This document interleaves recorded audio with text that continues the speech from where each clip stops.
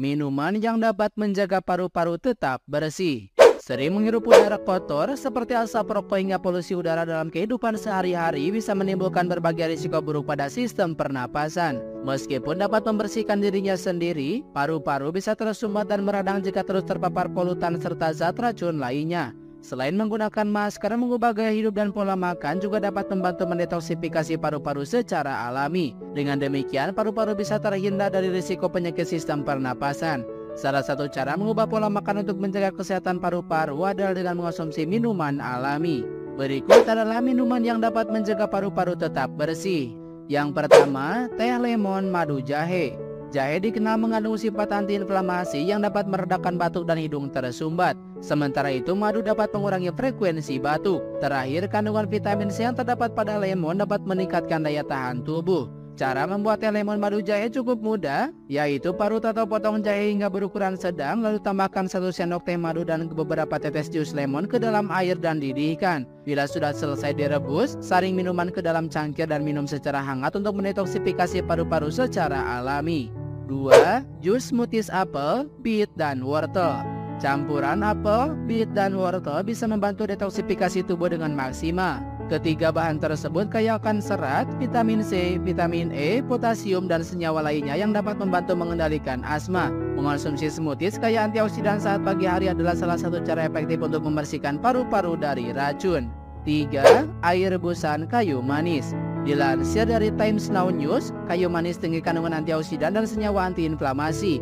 Keduanya diklaim dapat membantu mengurangi peradangan di paru-paru, menurunkan tekanan darah, dan mengontrol kadar gula darah. Sejumlah penelitian telah menunjukkan bahwa manfaat antiinflamasi dan antioksidan ini bermanfaat bagi penderita kanker paru-paru sebelum dan sesudah perawatan.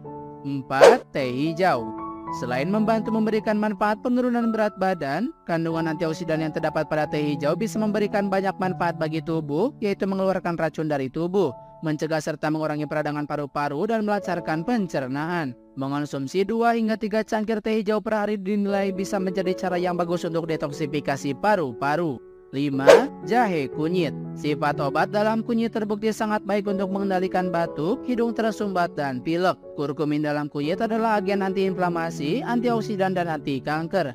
Jahe dapat merendahkan gejala mual dan mengurangi hidung tersumbat akibat lendir. 6. Teh masala chai Masala chai adalah minuman teh hitam dengan campuran rempah-rempah dan daun herbal India. Minuman ini telah teruji untuk mengobati berbagai penyakit seperti batuk, pilek, hidung tersumbat, dan masalah pernapasan lainnya. Berbagai bahan alami seperti jahe, kayu manis, cengkeh, lada hitam, kapulaga, dan tulsi dapat digunakan untuk menyajikan teh masala chai. Seluruh bahan tersebut adalah tanaman obat dan rempah-rempah yang bersifat antiinflamasi. Bahan-bahan ini dapat membersihkan tenggorokan dan mengurangi iritasi tenggorokan. Untuk membuatnya cukup haluskan semua bahan hingga membentuk pasta kasar. Kemudian tambahkan pasta ke air mendidih, tambahkan daun teh hitam dan sedikit gula secukupnya.